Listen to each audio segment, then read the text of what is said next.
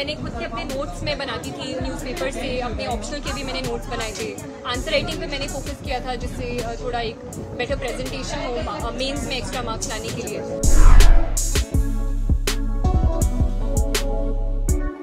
ज़िंदगी में कितना बदलाव आया है कैसा लगा? अ, अभी ये सिंक ही नहीं कर रहे बहुत सारे लोग हैं लगातार फ़ोन कॉल्स आ रहे हैं तो it will take some time for it to completely sync in but I am very happy that I got this ये बताइए स्ट्रैटेजी क्या कुछ थी आपकी? कितने घंटे पढ़ाई करते थे? क्योंकि जितने भी यूपीएससी के स्टूडेंट्स हैं वो जानना चाहते हैं कि जो टॉप करते हैं उनकी क्या स्ट्रैटेजी होती है? स्ट्रैटेजी तो वही है जो लोग बोलते हैं कि सोर्सेज लिमिटेड रखना। उसके बाद मैंने खुद के अपने नोट्स में बनाती थी न्यूज़पेपर से अपने ऑप्शनल के भी मैंने नोट्स बनाए थे। आंसर राइटिंग पे मैंने फोकस किया था, जिससे थोड़ा एक बेटर प्रेजेंटेशन हो मेंस में एक्स्ट्रा मार्क्स लाने के लिए।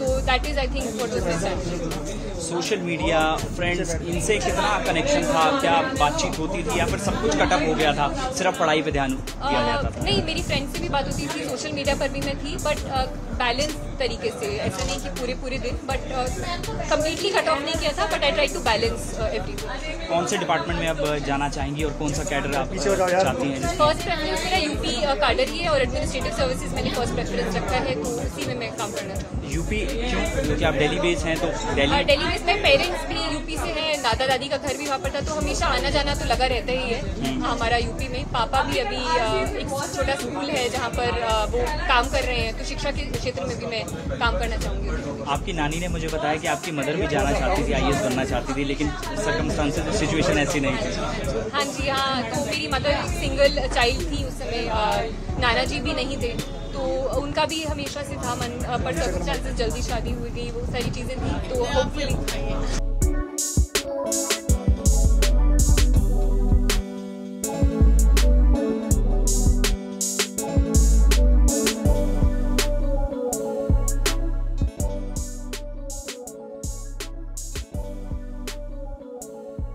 मैडम अपना नाम बता दीजिए। मेरा नाम रचना शर्मा। मैम, आपकी बेटी ने आज टॉक किया है, कैसा लग रहा है? कितनी ज़िंदगी में बदलाव आ गया अभी तो देखिए क्या बदलाव आता है, बाकी बस अभी तो यही कि इतनी खुशी हो रही है कि उसका जो उसने अपना करना शुरू किया था, वो अपने प्रयास में सफल रही। उसी की खुशी से मुझे बहुत ज़्यादा खुशी हो रही है।